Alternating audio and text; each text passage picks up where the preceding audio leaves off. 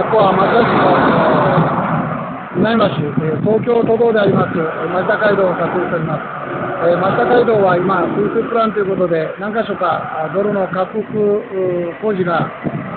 行われているところですが、この南橋のところはどうしてもネックになるところであります。えこの下を横浜線が通っておるということで、非常に構造上、難しい地形に、なっておりまして、なかなかこのところの改修というのが、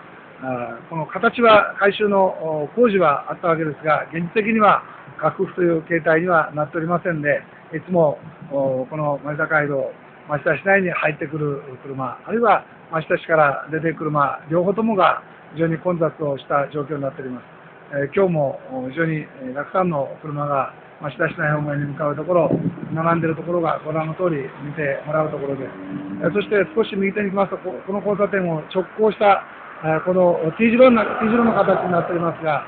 藤沢街道といいます。えーこのちょうど神奈川県の藤沢に向かう道路でして、昔からある道路ですが、ここもいつも大きなあ渋滞が起きております。